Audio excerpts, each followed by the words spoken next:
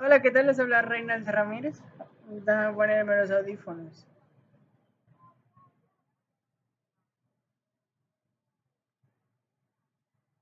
Hola, ¿qué tal? Les habla Reinaldo Ramírez. Espero que se encuentren muy bien.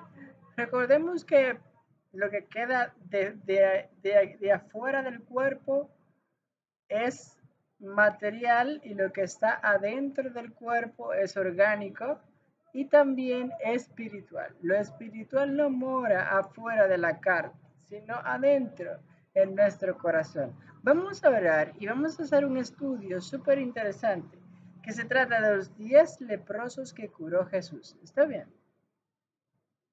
Amante Padre que estás en los cielos, Señor, por favor, danos sabiduría, entendimiento y que todo lo que vamos a estudiar ahora sea de acuerdo a tu voluntad.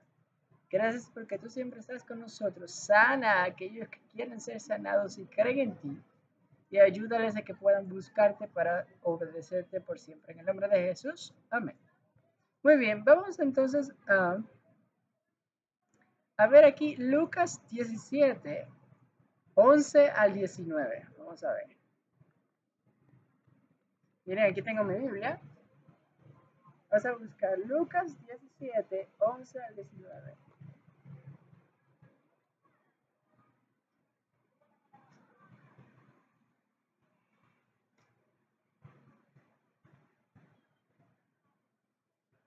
Ok, vamos a leer. Y decimos amén en 1, 2 y 3. Amén. 11 al 17. Lucas 17, 11 al 19, perdón. 11 al 19. De camino a Jerusalén, Jesús pasó entre Samaria y Galilea. ¿Están entendiendo? Al entrar en una aldea, vinieron a su encuentro diez leprosos que se, pasa, que se pararon lejos. Y levantando la voz, gritar, gritaron, Jesús, Maestro, ten compasión de nosotros. Esta es la versión 2000 de la Reina Valera, ¿eh? porque en otras versiones dice diferente. Yo lo sé porque yo he leído esa historia muchas veces. Así que vamos a continuar. Cuando él los vio, les dijo, id, mostraos a los sacerdotes. Oigan lo que les dijo. Él no les dijo, él no, los tocó y, que, que algunas veces él los tocaba. Pero en este caso, él lo que hizo fue que les puso como una tarea. Él les dijo, vayan a donde los sacerdotes, allá. Y mientras ellos iban, quedaron limpios.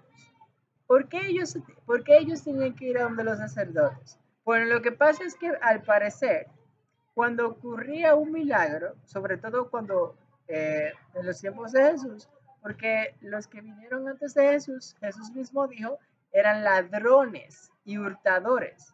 ¿Por qué? Porque probablemente hacían un milagro, pero duraba dos, tres, cuatro, cinco días y después, puff, otra vez la misma cosa y hasta peor. Estoy segurísimo de que venía peor otra vez. Es como cuando tú te pones la faja, las mujeres se ponen una faja y entonces, entonces están ahí que, que su faja, con su faja, con su faja, pero no hacen ejercicio y tienen la faja puesta, la faja, la faja, la faja, la faja. Y entonces cuando se la quitan, ¡pum! llega un punto en el que están peor que como estaban antes. ¿Y, por qué? ¿Y por qué? Y, hasta, incluso eso de las fajas, yo hasta lo, puedo explicar porque mi mamá tuvo un tiempo que trabajaba con eso. Y ella se dio cuenta, mi mamá, que de verdad eso no funciona. Ella se operó mejor. Y eso es más inteligente. Operarse es más inteligente que ponerse fajas. Entonces te vas a poner faja, faja, faja. Y, lo que estás es lo que estás es comprimiendo tu cuerpo. El Hammond de White no, nos recomienda que nosotros comprimamos el cuerpo para la respiración. ¿Por qué? Porque eso lo que hace es que evita la, la respiración natural y la circulación natural del cuerpo. Entonces, habían personas que hacían milagros falsos. Y entonces, aún así, cuando lo hacían, los que recibían esos milagros tenían que ir a donde los, a donde los sacerdotes.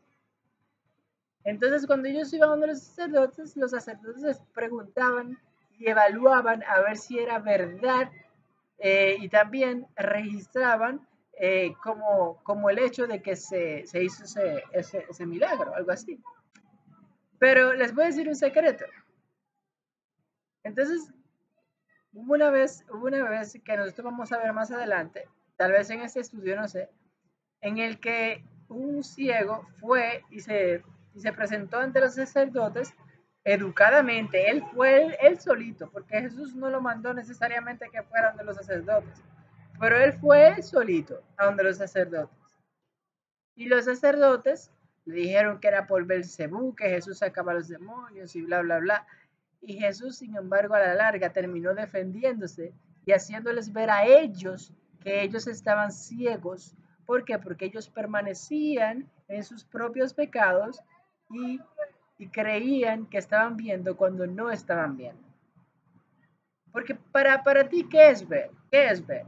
Por ejemplo, ahora mismo, aunque tú no lo veas, yo estoy viendo un mosquito chiquitito que está pasando por mi ojo. ¿Sabes por qué yo lo puedo ver? Porque hay luz en mis ojos. Cuanto mayor luz hay en tu corazón de la verdadera, más tú vas a ver. Pero hay un dicho por ahí que dice así, la verdad hiere solamente a quien es culpable. En otras palabras, tú puedes llegar a, ser alguien que te cuides los ojos y ser un pecador increíble y poder ver el mínimo detalle. Pero adivina qué, cuando llegue algo que te acuse y te, y te haga ver a ti como el pecador que eres, hasta ahí llegaste. Por eso es que la luz tiene que ser buena. Es como la energía positiva y negativa. Aunque usted no lo crea, la energía negativa puede ser imitaciones de la positiva. Eso fue lo que pasó con, con Moisés y los magos de Faraón. Ellos imitaron dos serpientes. ¿Y qué hizo Moisés? Lanzó el, palo que él tenía y solamente esa sola se no se la comió, la, las mató a las otras dos. Entonces, ya pueden ustedes saber a lo que me refiero. Entonces, eh, vamos a seguir leyendo. Eh, um, mostrados a los sacerdotes, versículo 14. Y mientras ellos iban, quedaron limpios. Entonces uno, oigan cuántos, uno de ellos, al verse sanado, volvió alabando a Dios a gran voz. Además se postró a los pies de Jesús es justamente lo que yo, a mí me encanta postrarme a los pies de Jesús.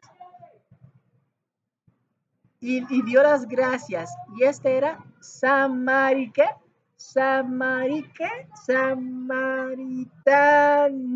Por ahí yo tengo una obra que se llama Cieguito, en la que yo digo que, el hombre que, estuvo herido, que, lo recogió un samaritano, resulta ser que probablemente los dos, no, no, no necesariamente eran samaritanos, pero sí tenían las mismas costumbres. Por eso fue que se le hizo más fácil al, al samaritano que lo recogió tomar al que estaba herido. ¿Por qué? Porque no tuvo, no tuvo temor de hacerlo. Los otros estaban siempre con su, con su tradición y sus cosas y como veían que era, eh, que, que, que, era tal, probablemente, porque es que el espíritu se siente, aunque él estaba hasta desnudo, ¿eh? él estaba hasta desnudo, dice, dice la palabra de Dios. Pero bueno, vamos, no vamos a, enredarnos en, en, todo eso. El que se devolvió que era leproso era samaritano. Y, ok, mm, entonces Jesús se preguntó, ¿no son diez los que fueron limpiados? ¿Los otros nueve dónde están? ¿No hubo quien volviera a dar gloria a Dios sino este extranjero? Y le dijo, levántate y vete, tu fe te ha salvado. Bueno, miren, yo quiero dejarles claro algo muy importante. En estos tiempos, lamentablemente, es horrible, es lamentable que todo lo quieren poner así. Miren, un cuadro, cuadrado. Todo es, todo es 10 o nada. 100 o nada, uno o nada. Eh, trabajas o no comes. Y, créanme, eh, el proverbio que dice que el que, el que no trabaja y que no come está bien, pero cuando lo utilizas mal, es, tienes que tener mucho cuidado, porque hay que ser compasivo. Y esas personas que no pueden trabajar, aunque quieren, porque no tienen educación, no tienen los recursos, por eso ya no les vas a dar comida. Eso se llama falta de compasión. Y de seguro algunos dirán, ay, Reina, tú lo que estás es predicándote a ti mismo. Ajá. Eso mismo dijo el amiguito mío que yo les dije a ustedes que se llamaba Daniel, que lo que estaba era adulando al rey. Ese mismito. Lo dijo los otros días en la, en la, en la prédica. De seguro por un espíritu que le habrá dado no sé quién. Entonces, miren mi gente, lo que quiero decir es que tenemos que ser agradecidos. Está bien, cuando somos agradecidos con Dios, Dios nos da la verdadera sanación. Los otros nueve, aunque ustedes no lo crean, aunque ellos hicieron lo que tenían que hacer, por no ser agradecidos, probablemente volvieron a tener la lepra, o no solo eso, sino que probablemente tuvieron otra cosa o problemas, etcétera, más que mientras que el que fue agradecido dice que Jesús le dijo, levántate, tu fe te ha salvado. Eso, eso es lo que yo quiero escuchar, no otra cosa. A mí no me hace falta necesariamente que me diga que Dios dice que dice que está sano y ya. No, no, no, no. Yo quiero que Él me diga, vete, tu fe te ha salvado. Está bien. Así que esa es tu meta para ti, esa es tu meta para mí y para todos los que tú quieres también. Vamos a orar y con eso concluimos. Amante Padre que hasta los cielos, Señor, muchas gracias por todo lo que nos has dado. Cuídanos y sosténnos y que nuestras metas sean cumplidas. Que tu Santo Espíritu sea el que hable por mí y que nada me interrumpa ahora mismo, Señor. Gracias por todo, por tu grandioso poder. Aleja a los baales de mí y a las personas idólatras en tu Santo Divino Espíritu. Destruyelos a todos. En tu nombre esperamos, por favor, y gracias. Perdónanos nuestros pecados y dale a aquellos que necesitan en el nombre de Jesús. Amén. Dios les bendiga.